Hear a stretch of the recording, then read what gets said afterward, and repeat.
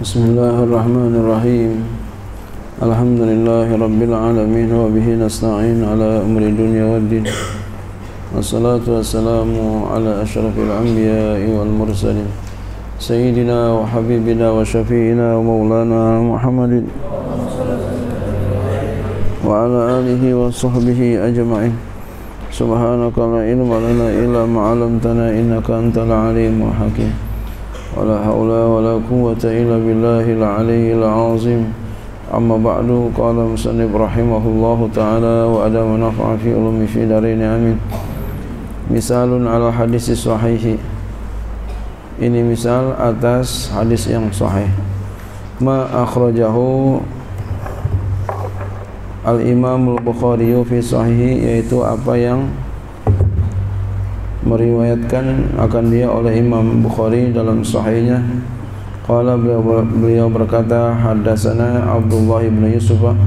Telah bercerita kepada kami oleh Abdullah bin Yusuf. Qala akhbarana Malik bin Syihab an Muhammad bin Jubair bin Mu'aim an abihi. Telah mengkabarkan telah mengkhabarkan kepada kami oleh Malik daripada Ibni Syihab daripada Muhammad bin Jubair bin Mun'im dari ayahnya qala ia berkata sami'tu Rasulullah sallallahu alaihi wasallam aku telah mendengar Rasulullah sallallahu alaihi wasallam qara'a fil maghribi bituri ia telah membaca ia telah membaca pada waktu salat maghrib ya dengan dengan surah At-Tur. Nah, kata beliau fahazal hadisu sahihun maka ini hadis hukumnya sahih. Kenapa sahih? Lianna sanadahu ya boleh juga dalam kurung itu maksudnya isnadahu. Karena sanadnya itu muttasilun muttasil karena inna kulla rawin min ruwatihi sami'ahu min syaikhihi karena sesungguhnya setiap perawi daripada para perawinya ia telah mendengar akan dia dari gurunya. Gurunya dari gurunya gurunya dari gurunya gurunya dari gurunya. Enggak putus-putus. Dan orangnya sikot terpercaya. Itu namanya hadisnya sahih. Iya. Kayak kamu ini benar bagus akhlaknya bagus kamu ngaji. Lalu yang bawa murid kamu ada lagi nanti bagus lagi.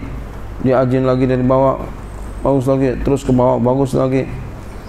Makanya kalau ada orang punya murid bagus beruntung. Ya punya perawi yang bagus. Ntar apa yang diusungnya apa yang dibawanya apa yang dibawanya jadi bagus juga. Bagus bagus bagus bagus bagus bagus bagus begitu. Ya. jadi perawinya perawinya karena suatu hadis akan jadi lemah lantaran gara-gara perawinya. Padahal hadisnya benar. Tapi karena perawinya ini yang jelek ya maka hadisnya jadi jelek. Ya. maka karena itu kamu jadilah seorang perawi ilmu-ilmu guru yang bagus. Jadi rijalun sikotun ya. Hmm. gitu biar benar biar bagus. Nanti punya murid lagi bagus lagi. Iya. Punya murid lagi bagus lagi. Punya murid bagus lagi.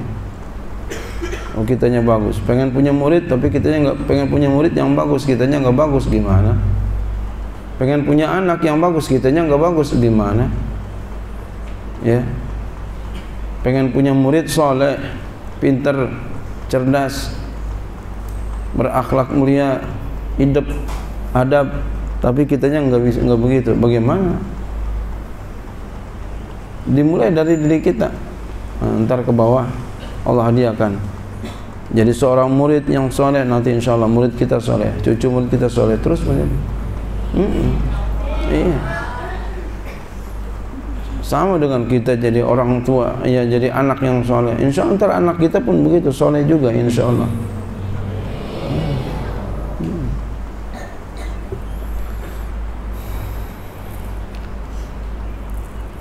Nah, itu yang pertama. Nah, sanian wasalisan ruwatuhu kulluhum udulun dabituna para perawinya seluruhnya adil dobat ya.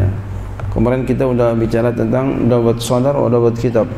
Dobat apa dobat nulis ini ya. Semuanya adil semuanya dobat wa hadhi awsafhum 'inda ulama al-jarh wa ta'dil. Ini adalah sifat-sifat mereka ya menurut ulama jarh wa ta'dil. Ya jadi ada ya ulama yang paham tentang ini ya.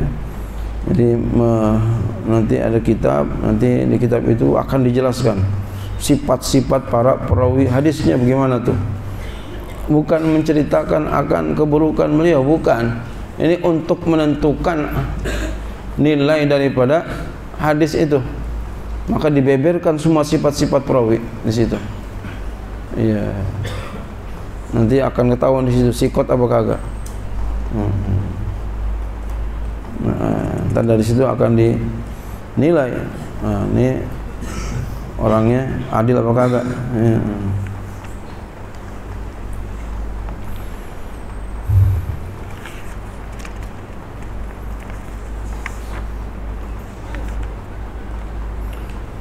Abdullah ibn Yusuf sikotun mutkinun. Ya. Ini rijalnya. Dikatakan para perawinya seluruh mereka adil dobat ya. Abdullah ibn Yusuf sikotun mutskinun Abdullah bin Yusuf itu seorang yang sikot lagi orang yang menguasai mutskin itu ada kalau kita mutskin uh, hafal Quran mutskin sampai mutskin ya. dia menguasai benar ya. Mengetahui dengan baik ya, apa yang dia apa sampai mungkin jangan baru apa udah tinggal aja belum mungkin kalau kita ngapal Quran begitu. Ya tapi kalau kita mau lupa mulu ya jangan lah ya. Ya lupa mulu. Dikit lupa dikit lupa. Maka jangan apalan kita. Metodologi. Itu yang harus kita kembangkan untuk kita. Ya kalau apalan kita kuat nah itu apalan yang harus digali. Kalau nggak kuat nah, pemikiran. Pemikiran apa? Metodologi Malik bin Anasin imamun hafizun. Nah ini kan itu ya. Malik bin Anas ini lagi diurut nih apa namanya para perawinya. Adalah imamun hafizun seorang imam yang hafiz. Ibnu Syihab bin Az-Zuhri. Uh, beliau adalah faqihun hafizun muttafaqun ala jalalati wa itqanihi. Beliau seorang ahli fikih seorang yang hafiz seorang yang disepakati atas jalalnya jalalnya. Jadi apa uh, beliau kemuliaannya diketahui. Ibnu Syihab. Jadi terkenal ketika itu beliau di uh, wilayahnya. Ya, keagungannya Masya Allah Masya Allah Masya Allah. Jadi kalau berhadapan dengannya orang jadi sirnya besar sirnya pak hebat. Hmm. wa itqani nah itqannya sama juga nih ya apa mungkin ya nah, menguasai mana kokoh penghafalannya ya keilmuan. Mengetahui dengan baik ya, bidangnya keilmuannya. Muhammad bin Jubairin sikotun. Muhammad Jubair adalah seorang yang sikot. Jubair bin Mun'aimin Jubair bin Mun'aim adalah sahabin radhiyallahu anhu. Yang sahabat. Ya kalau sahabat sudah ya apa? Kullu sahabiyin udul setiap sahabat adalah adil itu enggak usah dinilai. Adil semua. Sepakat para ulama. Baik ahlul bait maupun ghairu ahlil bait. Ya. Ya. baik ahlul bait maupun ghairu ahlul bait. Semua adil. Jangan ahlul bait dong yang adil. Ghairu ahlul bait enggak adil. Bukan ahlul bait enggak adil. Wah nah, ini enggak boleh. Ya ya enggak boleh kayak begitu. Enggak boleh kayak begitu ya. Ya, jangan sampai kayak begitu. Semua udul sahabat Nabi sekalipun ya. Sekalipun ya. Orang yang pernah ada masalah di zaman itu dengan keluarga Nabi sekalipun ya. itu hukum daripada para ulama menetapkan begitu hmm.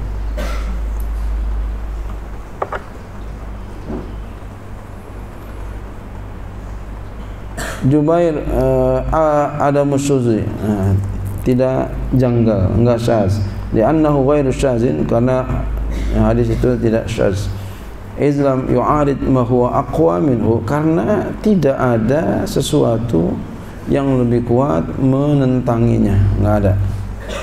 Enggak ada hadis yang menentanginya. Adamul illati li'annahu laysa fihi illatun minal ilali tidak ada penyakit hadisnya. Kenapa? Karena bahwasanya tidak ada di dalamnya ya satu ilat daripada beberapa ilat. Enggak ada. Jadi hadisnya ya dapat diterima mudah, ya, bagus, ya jelas. Wallahu a'lam bishawab. Misalus sahih li ghairihi.